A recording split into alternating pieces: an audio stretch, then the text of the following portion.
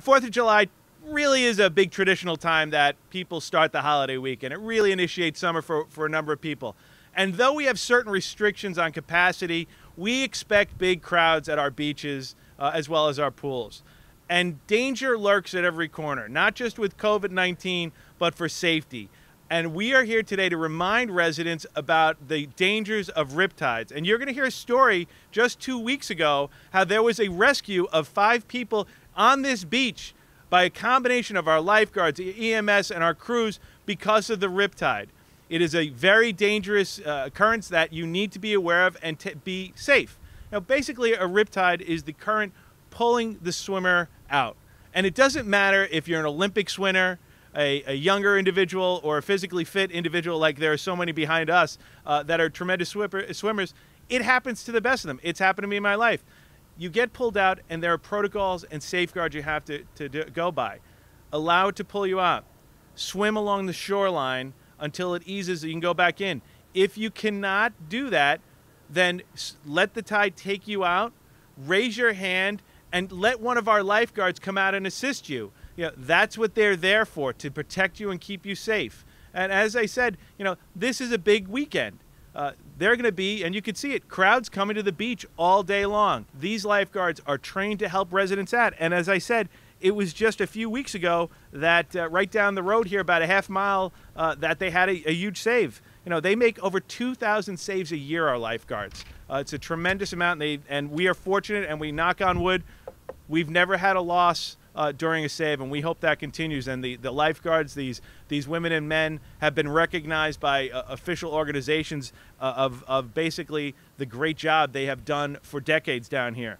But uh, as I said just a couple of weeks ago, um, there was a uh, five individuals in the water, and they were all pulled out with the rip current, and they signaled, and one of our lifeguards immediately went out to the rescue uh, within I think a, a, minute or two, they had additional lifeguards that went out to uh, uh you know help in the rescue. Uh, EMS showed up. Local fire department also showed up, uh, providing any service or any aid that was needed on the beach. And we're happy to report it was a yet another great successful save here because of this rip.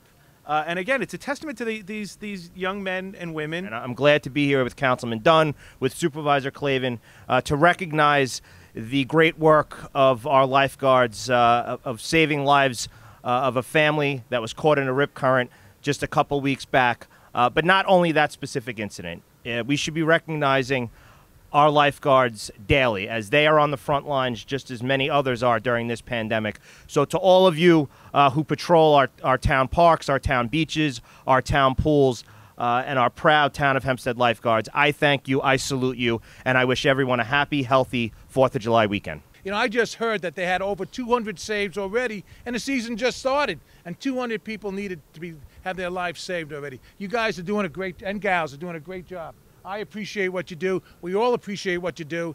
The riptide is something. Get a grip on the rip. I think that's uh, the saying we're going to have. Yep. Get a grip on the rip. Listen to them.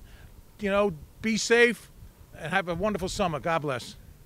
You know, our lifeguards are here. We're going to have the signage. We're going to have all these protocols, but it really comes down to the great job these young women and men do on a daily basis. We're lucky to have them. Uh, we appreciate all of their efforts. Uh, they're always putting the, the lives of others uh, in front of their own, and they're not taken for granted here in the town of Hempstead. And it'll be a challenging summer, a different summer, but all working together, we want to make it an enjoyable and a safe summer.